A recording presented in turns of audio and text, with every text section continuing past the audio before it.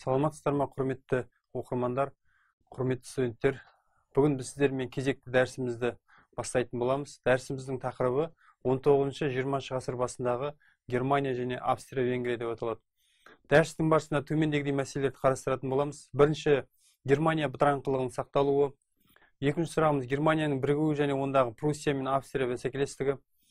Үшінші сұрағымыз австрия империясы. 1867 жылы австрия венгрияның құрылуы. Төртінші сұрағымыз 1871-1899 жылдарда германия империясы жиырмасыншы ғасыр басындағы германияның әлеуметтік экономикалық және саяси дамуы. Бесінші сұрағымыз жиырмасыншы ғасырдың басында австрия венгрияның әлеуметтік экономикалық және саяси дамуы деп аталады. Сонымен жиырмасыншы ғасырдың бас он тоғызыншы ғасырдың басында германия қандай ел болды? Қандай жағдайда осы жаңа ғасырға аяқ басты дейтін болсақ әрине германияның бытыраңқылы 19 ғасырдың басында сақталды. 19 ғасырдың басында германия бытыраңқы ел болды. Экономикалық жағынан артта қалды. Енді оның экономикалық жағынан артта қалуы әрине осы бірін, бірінші кезекте сол саяси бытыраңқылығына байланысты болды. Герман одағында ықпалды мемлекеттер бұл ә, бұрынғысынша австрия және пруссия болды. Осы герман одағындағы басқа да кішігірім мемлекеттер болды. Осы кезеңде Э, бұл мемлекеттер әрине 1848 жылға дейін сол күйінде абсолюттік монархия болып э, сондай режим э, сақталып қалды. Көптеген басқа герман мемлекеттерінде бұрынғысынша абсолюттік тәртіп сақталды. Енді әлеуметтік экономикалық жағына келетін болсақ герман германияда жалпы герман мемлекеттерінде осы капиталистік қатынастар ене бастады. Соған қарамастан аграрлық ел болып қалды германия. Осы халықтың төрттен үш бөлігі ауыл шаруашылығымен айналысты. Бұл кезеңде әлі де болса 19 ғасырдың ортасында халық саны 35 миллион адамнан асты. Шаруалардың шаруаларды алым салықтар арқылы қа, түрлі қарыздар арқылы қанау жалғасын тапты. Осы кезеңде шаруаларды қанау жалпы тоқтамады. 1830 жылы герман мемлекеттері ә, барлық енді 18 мемлекет кірді. Осы кедендік одақ дегенді құрды. Міне сол кедендік одақ ә, кедендік одаққа пруссия басшылығы жасады. Міне бұның мақсаты осы герман ә, мемлекеттері арасындағы ә, экономикалық жалпы сауда экономикалық байланыстарды ә, жаңағыдай жақсарту керек жақсарту болды. Бұл кедендік одаққа ә, дегенмен де сол пруссияның басшылығы ә, пруссияның басшылығымен болды деп айтқанбыз. Пруссияның басты бәсекелесі австрия ә, кірген кірген жоқ. Енді өнеркәсіп төңкерісі герман экономикасында осы кезеңде жалғасын тапты. Өнеркәсіп төңкерісі осы германияда ә, мынау англия дамыған басқа жаңағы мынау франция елдерімен салыстырғанда ә, өте жай. Енді бұл 19 ғасырдың 30 жылдары ғана басталды ә, германияда өте баяу қарқынмен жүрді осы өнеркәсіп төңкерісі. Бірақ дегенмен де осы кезеңде Э, экономикалық қатынастар жалпы өнеркәсіп төңкерістің алғашқы нәтижелері э, өзін өз э, нәтижелерін бере бастады. Берлин қалалар қалаларда негізінен мынау сауда экономикалық жағынан жалпы қатынастардың шоғырлануы жүрді. Осы кезеңде берлин қаласы маңызды өнеркәсіп орталығы болды. Темір жол техникалық жалпы прогресс орын алды. Осы кезеңде германия экономикасында көлік саласы дамыды. Қарқынды түрде. Темір жолдың ә, саласы жақсы дамыды осы кезеңде мынау. Енді мысалға франциямен салыстырғанда ә, германиядағы темір жолдың ұзындығы екі есе ә, ұзын болды. Өнеркәсіп төңкерісі өнеркәсіптік жұмыс штабының қалыптасуына әкелді ә, енді 19 ғасыр екінші жартысында әсіресе мына өнеркәсіп төңкерісі одан әрі ә, жақсы нәтижелерін бере бастады. Осы өндіріс саласында ауыр өнеркәсіп жеңіл өнеркәсіп саласында ә, осы өнеркәсіп төңкерісі өз нәтижелерін осы 19 ғасырдың екінші жартысында бере бастады. Енді осы герман одағындағы жалпы германия мемлекеттерінің ішіндегі бытыраңқы германия мемлекеттерінің ішіндегі бұрынғысынша жоғарыда айтып кеттік ә, негізгі ә, негізгі мемлекеттердің бірі бұл австрия болды. Жалпы осы кезеңде австрия империясы ә, әлі де болса сол габсбургтер монархиясы өзінің ықпалы күшті болды. 19 ғасырдың бірінші жартысында жалпы 19 ғасырдың басында бұрынғысынша сол өзінің қол астындағы иеліктері болды. Осы австрия империясының э, енді наполеондық мынау франциямен күресті. Одан кейінгі мынау ә, революциялар франциядағы революциялық кезеңде жалпы наполеон соғыстары кезінде әрине габсбургтер монархиясы осы үлкен табыстармен шықты деп айтуға болады. Франциямен жалпы франциядан осы наполеондық франциядан кейінгі мынау әлемді бөліске салу әлемдік қатынастарды жүйені реттеу кезінде де осы австрия негізгі рөлде ойнады. Жалпы он тоғызыншы ғасырдың басында габсбургтер монархиясы бұрынғысынша көп сақтап қалды. Он тоғызыншы ғасырдың қырқыншы жылдардың соңында австрия империясында 34 миллион адам өмір сүрді. Дегенмен экономикалық жағынан айтатын болсақ бұл австрия бұрынғысынша аграрлық ел болып қалды. Соған қарамастан жалпы капиталистік қатынастар бірте бірте ене бастады. Мынау әсіресе австрияда жеңіл өнеркәсіп салалары жедел дамыды. Жалпы өнеркәсіп төңкерісінің өзі де бұл елдерде жүрді бірақ жаңа жоғарыда айтып кеткендей баяу жүрген болатын. Міне осындай жағдайда ана сұрағымызда көрсеткеніміздей осы германияның біріктіру мәселесі күн тәртібінен өткір қойылды. Және сол жолда германияны біріктіру жолында осы австрия мен пруссияның бәсекелестігі күшейе түсті. Міне сөйтіп жалпы осы кезеңде мынау тарихтан белгілі германияны біріктіру қайсы мемлекет біріктіреді деген мәселе тұрды. Австрия басшылығымен бірге ма әлде пруссияның басшылығымен бірге ма міне осы жолда осы австрияда пруссияда аянып қалған жоқ.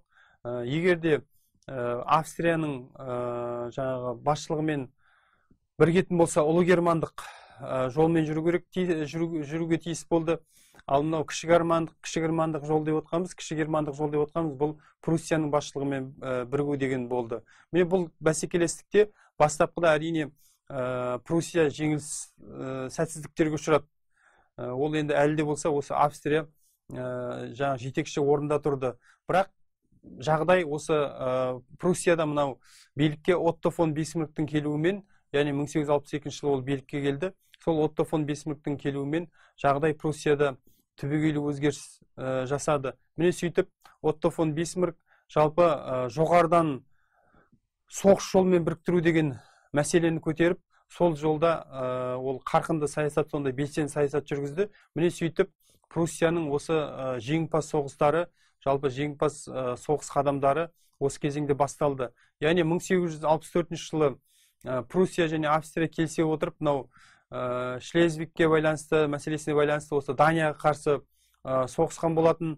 Ә, одан кейін мынау 1866 жылы ә, австрия пруссия соғысы орын алған болатын. Міне пруссия осы кезеңде отто фон бисмарк ә, барлық германдық мемлекеттерді ә, жаңағы біріктіру мақсатын қойып сол басты қарсыласы осы жолдағы австрияны жеңуді сол ә, соның жалпы талқандап соны ә, экономикалық жағынан әлсіретуді саяси жағынан әлсіретуді мақсат етіп сол 1866 жылы австрия территориясына басып кіріп міне осы соғыста ә, ұзаққа созылмады соғыс. Міне осы соғыста пруссия айқын басымдық көрсетіп осы австрия әскерлерін талқандайды. Міне сөйтіп 1866 жылы пруссияның басшылығымен солтүстік германдық одақ құрылды. Бұл одақта жаңағы австрияның австрия енбеді сөйтіп австрия жалпы герман одағындағы австрия осы герман одағынан шығарылып осы одан арғы уақытта жалпы германия мемлекеттерін біріктіру жолында германия біріктіру жолында пруссия жетекші орынға жаңағы иеленді. Міне одан арғы пруссияның жеңімпаз соғыстары жалғасын тапты. 1870-1871 жылдары тарихтан ә, оқыған боларсыздар. Ә, франк прус соғысы жүрді. Осы міне франция пруссия арасындағы соғыста тағы да осы франция ә, пруссия жеңіске жетіп ә, франция сондай ә, ауыр жағдайда қалды. Үлкен саяси экономикалық дағдарысқа ұшырайды. Міне осы табысты саясаттарды жүргізіп отқан мына сіздерде слайдта көрсетіп отырмыз. Ә, жалпы германияның рейхсканцлері отто фон бисмарк бола, болған еді. Ол бисмарк 1871-1890 жылдары билік етті. Ә, тарихта темір канцлер деген ә, атаққа ие болды. Яғни өзінің жаңағы ә, табыс саясат сондай қатаң ішкі сыртқы саясат жүргізуіне байланысты ә, осындай атақты иеленген болатын. Енді өздеріңіз көріп отырсыздар 20 жыл бойы осы ә, германия империясын билеп осы германияны германияны пруссияның басшылығымен біріктіруді мақсат етіп қойды. Сыртқы саясатты да ұмытпады. Белсенді сондай сыртқы саясат жүргізді. Вот. Міне осындай жағдайда ә, германия енді бұдан былайғы уақытта германия империясы құрылып ә, жаңағы ары қарай осы германия империясы жалпы еуропалық әлемдік ә, сахнаға ә, сондай белсенді түрде шықты. Одан кейінгі енді мына австрияның осы ә, австрияның жеңілістерінен кейін австрияның жағдайы қалай болды дейтін болсақ австрия империясының жалпы экономикалық дамуын тоқталып кетуге болады. Міне осындай оқиғалардың қарсаңында австрия мынау он тоғызыншы ғасыр елуінші жылдардың басында өнеркәсіп төңкерістің дамуы қарқын ала бастады австрияда. Өнеркәсіп жедел өсті әсіресе мына ауыр өнеркәсіп ә, теміржол саласы австрияда. Ішкі сауда дамыды ә, империяға қарасты ұлт аймақтарда өнеркәсіптің даму деңгейі ә, біртекті болмады. Әрине бұрынғысынша осы австрия империясына қарасты ә, ұлт аймақтарда әлі де қанаушылық сол осы ұлт аймақтарды орталықтан қанау ә, шикізат көзі ретінде қарау олардың жаңа құқықтарын аяққа таптау деген сияқты мәселелер өткір тұрды олардың барлығы да шешілмеді яғни ұлт аймақтағы халықтардың ә, саяси жаңағы құқықтық құқықтары өз шешімін таппады олар әрине олардың құқықтары көп артықшылықтарға ие бола алмады жұмысшылардың өмір сүру деңгейі жалпы еңбек ету жағдайы өте ауыр болды осы кезеңде австрияда. Мысалға мысал келтіруге болады жұмыс күні ә, мына аптас ә, жұмыс күні суткісіне 14-16 сағатқа дейін тәулігіне 14-16 сағатқа дейін созылған жағдайлар болған. Міне осындай жағдайда австрияда империясында осындай саяси экономикалық ә, дағдарысты кезең болды деп айтуға болады. Міне осындай жағдайда ә, мына ұлт аймақтардағы ұлт азаттық көтерілістер барысында ә, венгриядағы чехиядағы моравия басқа басқа галиция аймағындағы мысалға осы австрияға қарасты ұлт аймақтарда осы кезеңде белсенді ұлт ұлттық қозғалыстар өршіп тұрды. Міне осындай жағдайда мынау сыртқы саясаттағы сәтсіздіктер бар оның үстіне венгрияда ұлт азаттық қозғалыстар бар. Осындай жағдайда австрия империясы мына ұлт аймақтардағы халықтың жағдайын жақсарту үшін бір біршама шегіністер жасауға мәжбүр болды. Әсіресе мына венгрлерге сондай артықшылықтар беруге мәжбүр болды. Міне сөйтіп ә, венгрия осы кезеңде өзінің құқықтарын өткір қойды. Сонымен австрия келісіп 1867 жылы австрия венгриямен ә, австрия империясын дуалистік сондай австрия венгрия мемлекет ретінде қайта құру туралы келісімге келеді. Міне сөйтіп венгрия венгрияның бұл ә, жеңісі ретінде қабылдауға болады. Сөйтіп осы империяда ә, венгрия өз мадиярлар жалпы өз құқықтарын сақтап қалған болатын. Одан кейін кезеңде осы австрия венгрия он тоғызыншы ғасыр екінші жартысы жиырмасыншы ғасырдың басында қазір айтатын боламыз. Өз экономикалық саяси жағынан дамуын жалғастырды. Енді кезеңде мынау герман империясына қайтып оралатын болсақ мың сегіз жүз жетпіс бір мың сегіз жүз тоқсан тоғызыншы жылдары жалпы он тоғызыншы ғасыр екінші жартысында қандай әлеуметтік экономикалық саяси жағдайы болды дейтін болсақ бұл кезеңде енді жоғарыда айтып кеттік. Мынау мың сегіз жүз жетпіс бірінші жылы он сегізінші қаңтарда германия империясы құрылды. Э, сол ә, мынау кайзер ретінде басшы ретінде вильгельм біріншіні тағайындалды осы кезеңде. Ә, конституциясы бекітілді ә, империяның. Сонда мына конституция бойынша осы германия империясына 25 жеке мемлекет кірген болатын. Ә, олардың барлығында жетекші рөлді әрине пруссия атқарды. Ол сол пруссия барлық осы ә, елдердің ішкісіне араласып барлық мәселелерді шешіп отырды. Отто фон бисмарктың осы кезеңде германияда жеке дара билігі қалыптасты деп айтуға болады. Осы кезеңде мына бонапартистік отто фон бисмарктың билігі қалыптасты. Яғни жеке дара билігі ә, билік былай қарағанда үкіметтік билік атқарушы билік онда болмады. Атқарушы биліктің барлығы осы отто фон бисмарктың ә, қолында болды. Осы кезеңде ол мынау рейхс канцлермен қатар министр мынау сыртқы істер министрі президент қызметтерін қоса атқарды. Міне осыларды айтуға болады. Осының барлығы оның авторитарлық жеке дара белгінің қалыптасқандығын көрсетеді. Сонымен қатар мынау сыртқы саясатта ә, белсенді сыртқы саясат жүргізе бастады. Германия соны империялық отарлық сыртқы саясат жүргізді. Ә, осының барлығы оның европадағы мынау позициясының күшеюіне алып келді. Одан басқа мынау басқа құрлықтарда мынау африкада океанияда сол жаулаушылық саясатын жалғастырды осы кезеңде германия. Міне осының барлығы германияның жиырмасыншы ғасырдың басына ә, күшті дамыған саяси орталықтаған мемлекет ретінде аяқ басуына мүмкіндік жасады. Германияның экономикалық дамуына келетін болсақ жиырмасыншы ғасырдың басында капиталистік дамудың енді монополистік кезеңіне өтті. Яғни барлық салаларда экономиканың барлық салаларында ірі ірі монополистік құрылымдар құрылды.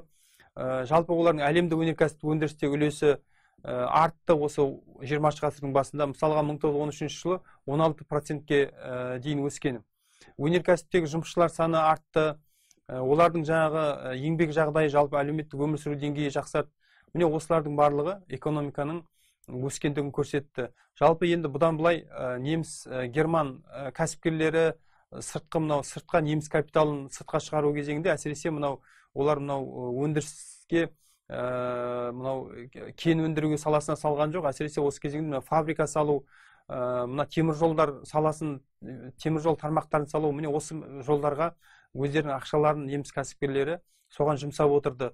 міне ондағы мақсат осы ә, германияның экономикасын дамыту сол арқылы жаңа ішкі нарық жаңа нарық сыртқы нарықтарды игеру болып табылды.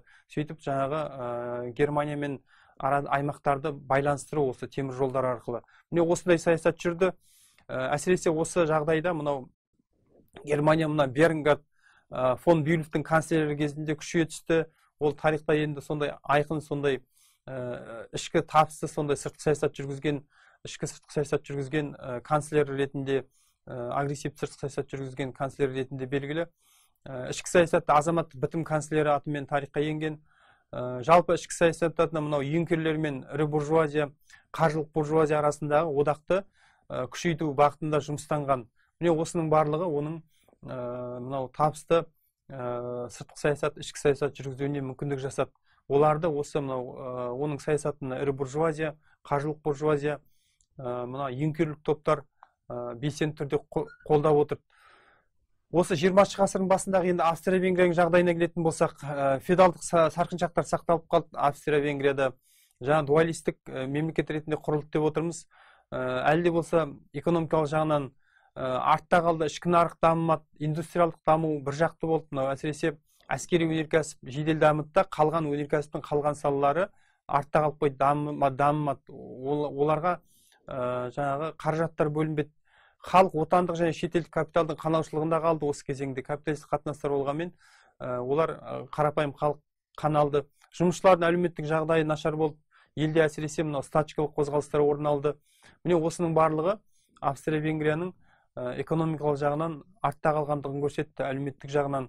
Бірақ дегенмен де олар ә, саяси дамуын ә, саяси даму жағынан осы мынау бірінші дүниежүзілік соғыс қарсаңында осындай агрессивті сырт, саясат жүргізіп ә, жаңа жаулап алу соғыстарына қатысуға даярлығын көрсетті.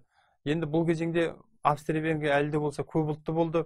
Дегенмен осы кезеңде мынау көпұлтты болуына байланысты ұлттық қайшылықтар мәселесі шешілмеді. Яғни керісінше осы австрия венгриядағы ұлттық қайшылықтар одан самайын өрши түсті.